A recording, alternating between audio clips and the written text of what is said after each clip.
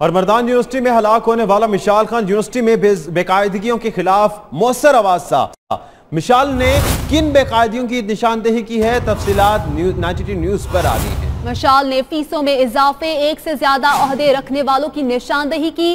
दस्तावेजात के मुताबिक यूनिवर्सिटी ने बास तलबा की बगैर इख्तियार के फ़ीस मुआफ की अहम खबर है, जिससे मुतालिक आपको आगाह कर रहे हैं, मशाल ने जिन जिन बेकायदगियों की निशानदेही की, उसकी तफसलात नाइनटी टू न्यूज़ पर। इसी पर मजीद बात करते हैं आलमगीर खान से। आलमगीर खान बताएगा मशाल खान यूनिवर्सिटी में बेकायदगियों के खिलाफ मौसर आवाज़ था। अभी मजीद अपडेट कीजिएगा।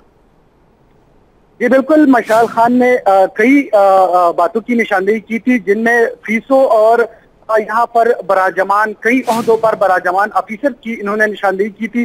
पहले तो यह है, आप देख सकते होंगे टीवी की स्क्रीन पर ये हमारे पास ये दस्तावेजात मौजूद है कि प्रोस ने तलबा को, कई तलबा को बगैर इख्तियार के उनके फुल फ़ीस माफ़ करवाए, जबकि ये इशू भी इसी वजह से खड़ा हो गया था, क्योंकि यहाँ पर सैकड़ों हज़ारों की तादाद में ऐसे स्टूडेंट थे जिन्होंने जमा नहीं किए थे और उनको क्लासेस में नहीं छोड़ा जा रहा था, जिसकी बुनियाद पर ये दो रोज पहले से ये इशू खड़ा हो गया था।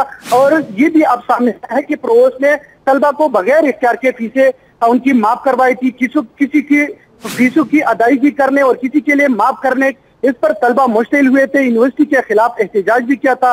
क्योंकि इसमें यह है कि ओपन मेरिट की फीसें यूनिवर्सिटी के अकाउंट में जमा होती है लेकिन जो सेल्फ फाइनेंस की फीसें हैं ये इंस्टीट्यूट ऑफ़ बिज़नेस स्टडीज़ के अकाउंट में जमा कराने कराए जाते हैं। महँगा पड़ गया। आलमगीर खान अब अपडेट कर रहे थे आपका शुक्रिया।